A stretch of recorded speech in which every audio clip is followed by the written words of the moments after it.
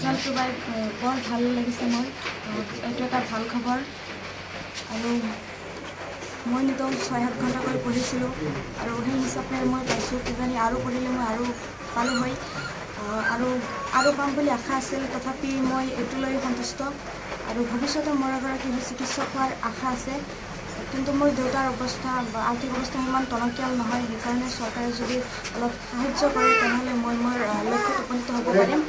এইখিনি কওঁ আৰু মোৰ এই সাফল্যতাত মোৰ শ্ৰদ্ধা শিক্ষাগুৰুসকল আৰু মোৰ মাতৃ পিতৃৰ যথেষ্ট সহায় আছিল। তেওঁলোকৰ বহুত অৱদান আছিল।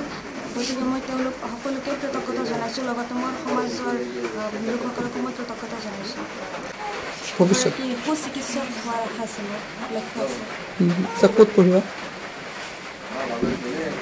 মোৰ এনেকুৱা মোৰ মানে প্ৰাইভেট স্কুলত প্ৰাইভেট বিদ্যালয়ত পঢ়াৰ আশা কিন্তু মোৰ দেউতাৰ আৰ্থিক অৱস্থাটো হেৰি নহয় গতিকে সেইকাৰণে ভালকৈ সিদ্ধান্ত ল'ব পৰা নাই ক'ত পঢ়িম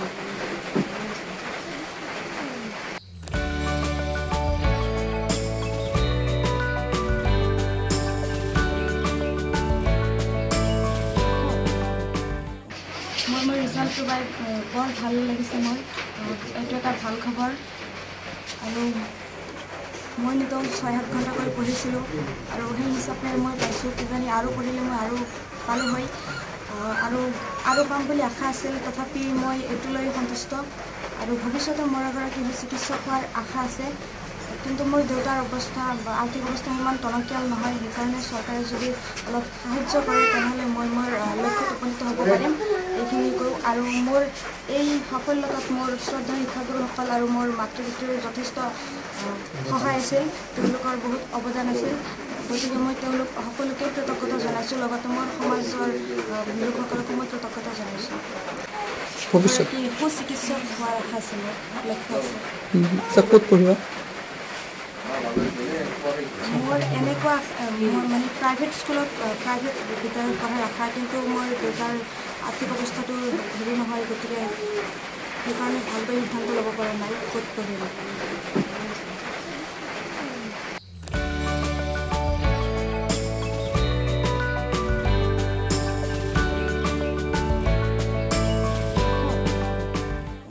মই মোৰ ৰিজাল্টটো আহ, বৰ ভাল লাগিছে আহ, এইটো এটা ভাল খবৰ।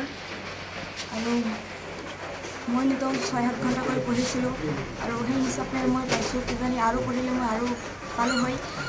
আৰু আৰু পাম বুলি আশা আছিল তথাপি মই এইটো লৈ সন্তুষ্ট। আৰু ভৱিষ্যতে মোৰ এগৰাকী চিকিৎসক হোৱাৰ আশা আছে। কিন্তু মোৰ দেউতাৰ অৱস্থা বা আৰ্থিক অৱস্থা সিমান টনকিয়াল নহয় সেইকাৰণে চৰকাৰে যদি অলপ সাহাৰ্য কৰে তেনেহ'লে মই মোৰ লক্ষ্যত উপনীত হ'ব পাৰিম। এইখিনি কওঁ। আৰু মোৰ এই সাফল্যতাত মোৰ শ্ৰদ্ধা শিক্ষাগুৰুসকল আৰু মোৰ মাতৃ পিতৃৰ যথেষ্ট